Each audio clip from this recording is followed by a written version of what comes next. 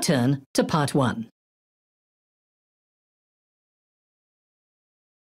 Part 1. You'll hear a conversation between a fitness centre agent and customer. First, you have some time to look at questions 1 to 5.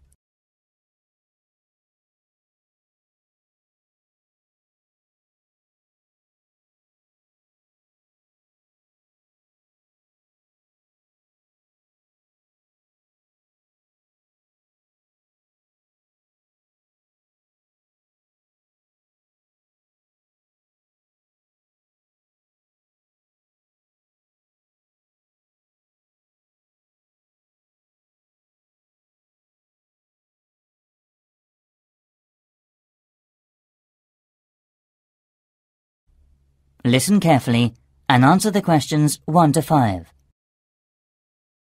Good morning. May I help you? Hi, good morning. I've come to get some information about membership and the facilities here. Of course. So what sort of thing would you like to know? Do you have a yoga class? I'm sorry, but we primarily run aerobics classes. What about swimming? No, I'm sorry. Perhaps you have mixed us up with the Seven Sports Centre. Oh yes, I must have made a mistake. Sorry. So do you have bodybuilding equipment? Sure, we've got a lot of facilities for bodybuilding. And we also have a Keep Fit studio. It is very popular with our members. And then as well as that, we have a badminton court. That sounds good. I often like to play badminton. We have other special classes too. Do you have fencing classes? I'm crazy about fencing. Well, at the moment we offer judo classes. We're planning to add fencing classes soon. Are there any restaurants or coffee shops I can go after exercising? At the moment, we've got a diet shop which is very popular. It sells caffeine and oil free, low calorie food. OK, thanks. Before you hear the rest of the conversation, you have some time to look at the questions 6 to 10.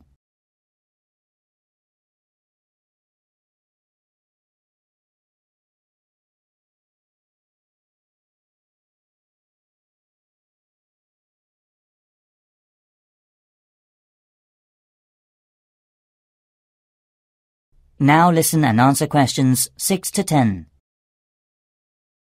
By the way, can I ask about the membership scheme? What kind of membership are you looking for? Um, I haven't made up my mind yet. What sort of membership schemes are available? Well, there are four different types of membership. I see. How does it work? Basically, the first one is called Super, and you can use all services at any time during the week or at the weekend. That sounds great. It's very expensive, isn't it? Right. You pay £700 for the annual subscription fee. Wow, it's so expensive. Right, okay then. Um, so, what about the next stage? That's the Under Super, £500 for the annual subscription fee. You can use all services Monday to Sunday except Fridays because all super memberships have an open lesson with specialist trainers. Okay, I see. So what time is the best time for me as a student? You can only use the facilities between 7am and 11.30pm. If you need a training coach, you must pay £10 per hour, but it's free for super membership. Okay, I see. How about the next stage? Actually, it's called middle class membership.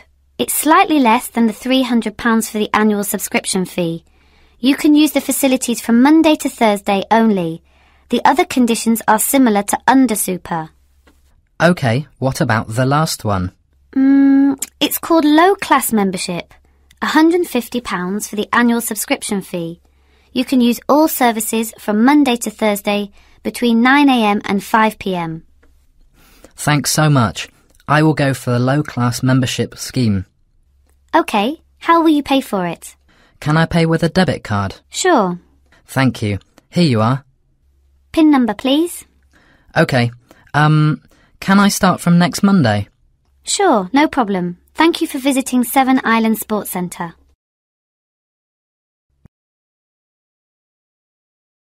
That is the end of Part 1. You now have one minute to check your answers to Part 1.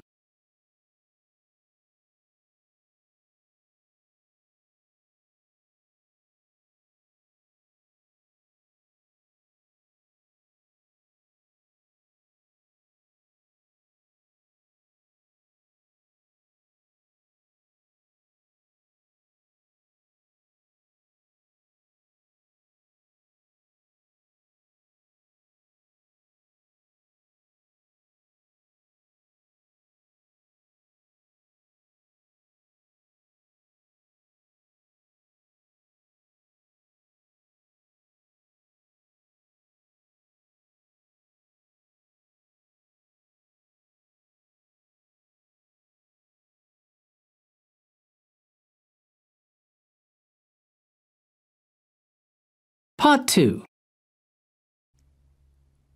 You'll hear a tourism programme. Manor House Town Theatre.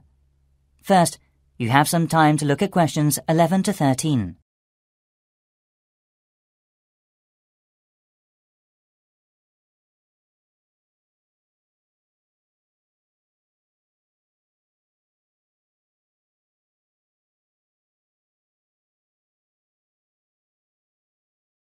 Now listen carefully and answer the questions 11 to 13. And here on Radio Manor House today, we have Sandy Smith, the Marketing Relations Officer of our own Manor House Town Theatre. Hello, Sandy. Good to see you. Now, the theatre is reopening soon after its two and a half year development programme, isn't it? That's right. And there has been a lot of remodelling and renovation work. Firstly, audiences will see when they come into the hall that it has been repainted in pure silver and bronze. Also, the ticket office has been redesigned with a new decorated entrance from the both sides of the theatre. This means it can be a more relaxed and comfortable space. The shop, close to the ticket office, will sell tour guidebooks, CDs and souvenirs. It should be finished by next week. The plan for redevelopment is to show audiences a new image and promote the theatre. Most of all, we hope to welcome potential new audiences and develop new actors and actresses to improve local theatre. How is the auditorium different? Well, it's completely different. Basically, we've extended the space between the aisles. It means that the number of seats is less than before, but we bet audiences will be much more satisfied with the theatre being in this condition.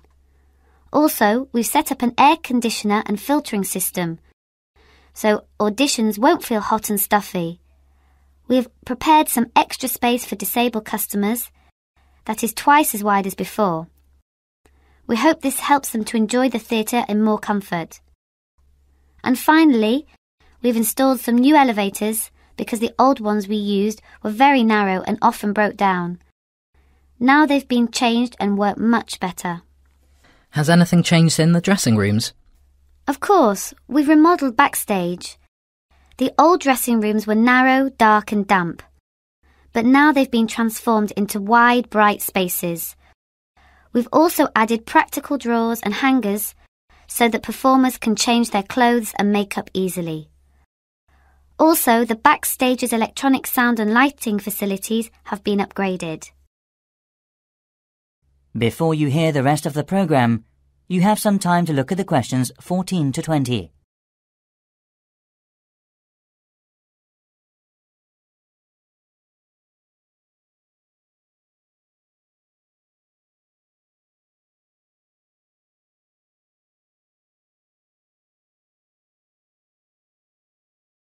Now listen and answer questions 14 to 20.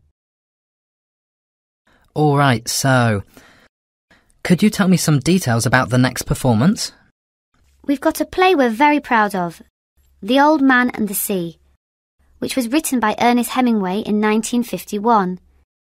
It starts on the 15th of August and runs until the 25th.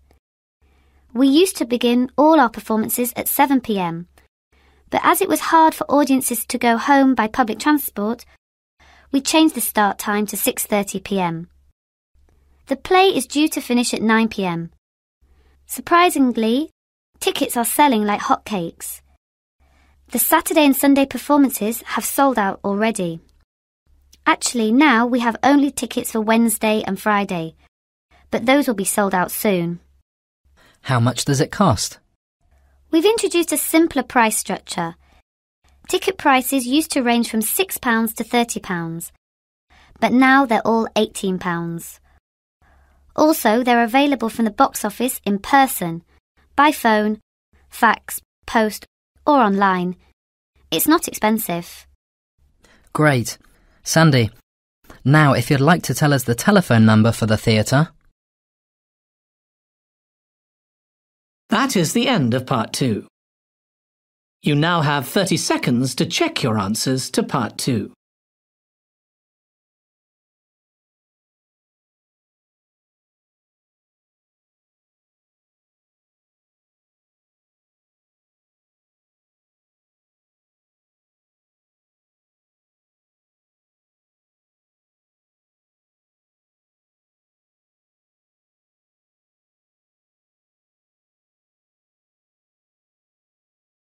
Part 3.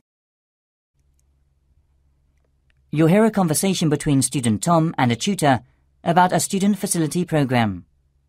First, you have some time to look at questions 21 to 27.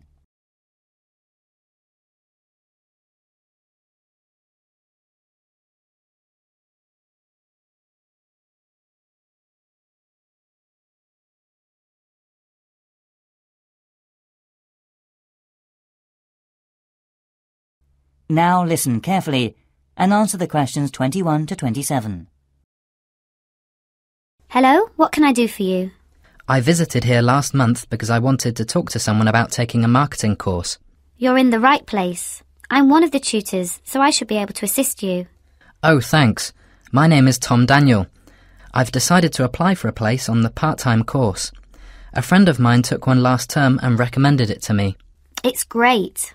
Is there anything I should do before taking the course, like coursework or preparing a portfolio? We gave out a reading list and handbook on induction day. We're helping current students to write a case study and an essay. The word count is over 5,000 words each, but this will be handed out next term. OK, I see. Anyway, could I have a teaching session or trial lesson? Sure, I'll contact the tutor and ask about your request. Thanks. Could you tell me about the college facilities as well, please? Is there anything in particular you would like to know about? Um, I know the course is twice a week and six hours a day, isn't it? So, presumably, it is possible to use the Internet Cafe in the Student Union Centre? Sure, the Internet Cafe is open all night long, Monday to Friday, 8am to 10pm. And normally after 8pm, most students living in the accommodation are using it. I need something special at the refectory as well. Actually, I want to eat a vegetarian diet and low salted food. OK then, you should let the staff know before eating. It won't be a problem. OK, I'm just wondering about the nursery and the college. I'd like to bring my son here while I'm studying. How old is he? Three and a half years. Then he's eligible to participate in the nursery at the college. We have several staff with qualifications. Actually, this system has a good reputation for married students. However, demand exceeds supply, so there is still a need to put your name down early for the nursery. OK, I see. Did you have plans related to the marketing course after school? We have a close relationship with industry in the local area, so with our support, most students have a good chance of improving their abilities. Really, so it might help me to develop my study skills after the course. We run an effective job centre with career information relative to a variety of different subjects. There is also a lot of reference material, business plan advice, and other such things. Also, our staff are also qualified to give guidance on a personal basis. Thanks. That sounds great. Um, I love exercising. Is there a fitness centre for students in the college? It's open to everyone. Basically, it's free for current students, but otherwise it's £150 per year, or £30 if you are from another college. And presumably there are library facilities. Of course, and there's also an audio-visual room, internet cafe, group study room, etc. So, how can I use the internet service? Mm, your tutor will arrange for the computer centre team to get you a new activated number, so ask them about the internet service when you use it. Thanks. Before you hear the rest of the program, you have some time to look at the questions 28 to 30.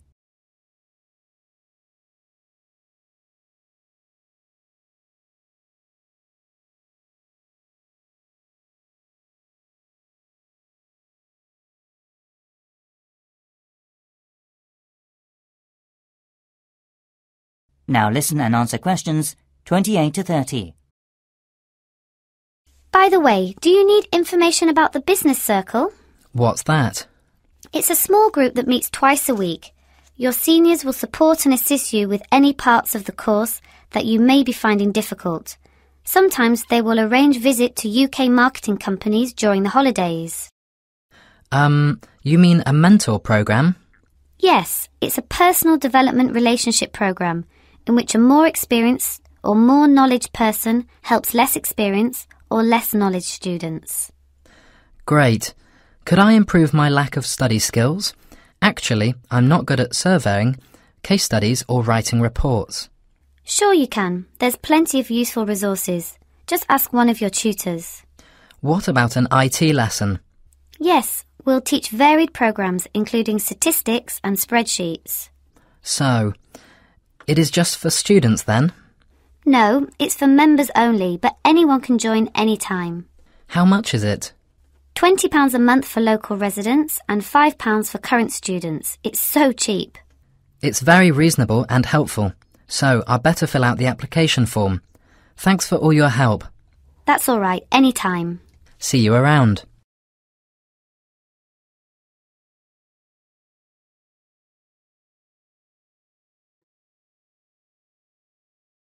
That is the end of part three. You now have 30 seconds to check your answers to part three.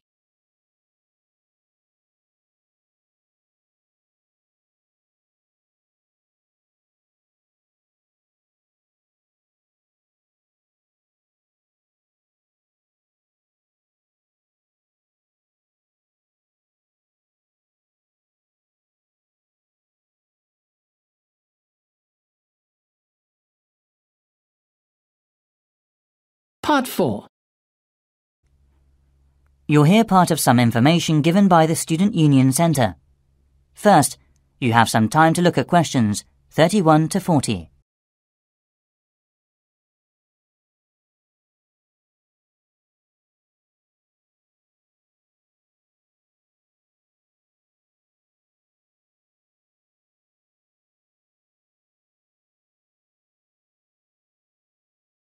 Now listen carefully and answer the questions 31 to 40. Welcome to Surrey Quay University. Surrey Quay has both physical and geographical advantages. It is also in an urban location and close to Waterloo International Station. The best advantage of Surrey Quay University is that it is within one hour of London Central Airport. The university has remarkable research capabilities. We were placed fifth out of 165 universities in last year's research assessment of the UK. We have been supported by government and global corporation companies, especially in subjects like computer science, marketing research, and arts and design. Furthermore, you are able to gain more relevant experience during the holidays by doing a work placement with local industry. I'll now give you some information about how to apply and learn studies about the university directly. If you do decide to make an application, the letter will be sent directly to the Student Union Centre. All student affairs officers, like me, will then send a confirmation letter to you as soon as possible after double checking them. However, unfortunately, sometimes this process doesn't operate quickly because there are postal problems caused by weather, traffic problems, or the final decision of a head course leader. So the processing period can take four to five weeks. Also, we'll introduce the current senior students that come from your country so you can get an objective opinion of the university, academic atmosphere, student support and facilities, and all aspects of student life in advance. UK universities run undergraduate courses for three years and master's courses for one year, which is different to the American university system. All courses are intensive and involve a lot of group work, especially field studies and presentations. If you decide to choose the Surrey Quay University, applying for accommodation is easy, and we can have a pickup service at the airport, helping you save time and money. We offer three kinds of accommodation. They are for international students, exchange students, and long distance residents in the UK. However, demand will exceed supply like last year, so you absolutely need to fill out the application form as soon as possible. If you plan to live in accommodation outside of the campus, you should apply a little earlier. There is great demand every year. Please remember this proverb the early bird catches the worm. The luxury accommodations will be filled up months before the launching of the new session. In other words, we'll kick off in October, so you will need to apply between July and August. This year, we'll offer a great room fee. Before the rent was £900 a week, including bills, but now it is only £750 a week. Also, we have equipped a broadband internet service for searching online quickly without any concerns. While living in the accommodation, the accommodation officer will take care of all your needs and will always welcome your visit. And finally, regarding language ability, you can choose two options. The first option is a conversation class for developing oral communication and presentation skills. The cost is included in the main school fee. The second option is a one-to-one class with a qualified TESOL teacher who will help you improve your speaking skills. This option is £20 an hour and classes will be scheduled from Monday to Friday. Improving your language abilities is very important. Unfortunately, around 5% in the bottom line of all current students failed the main course because of low results in the essay and speaking tests. You must not be in this group. Thank you for listening. I hope you enjoy your time here at Surrey Quay. That is the end of part four. You now have one minute to check your answers to part four. That is the end of the listening test. In the IELTS test, you would now have 10 minutes to transfer your answers to the answer sheet.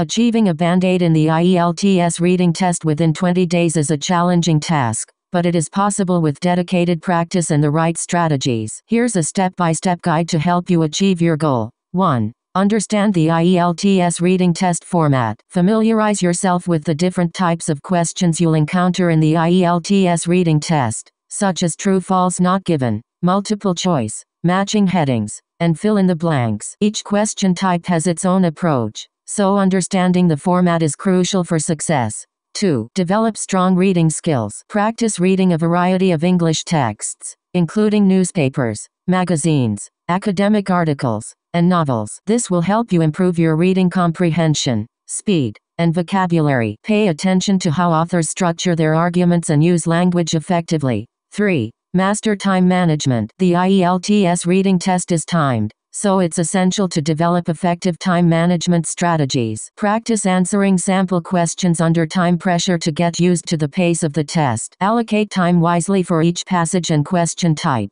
4. Utilize effective reading techniques. Skimming and scanning are essential techniques for tackling lengthy passages in the IELTS reading test. Skimming involves quickly reading through a text to get the gist, while scanning involves searching for specific information. 5. Practice with high quality materials. Use official IELTS reading practice tests and materials to familiarize yourself with the actual test format and question types. These materials will also provide you with feedback on your performance and areas for improvement. 6. Seek guidance from an IELTS tutor or instructor. Consider enrolling in an IELTS preparation course or working with an experienced IELTS tutor. They can provide personalized guidance, identify your strengths and weaknesses, and help you develop effective test taking strategies. 7. Build your vocabulary. Expand your English vocabulary by learning new words daily. Focus on acquiring words related to common IELTS reading topics, such as science, technology, history, and the environment. Use flashcards, vocabulary apps, or online resources to aid your learning. 8. Stay motivated and focused. Preparing for the IELTS reading test requires consistent effort and dedication.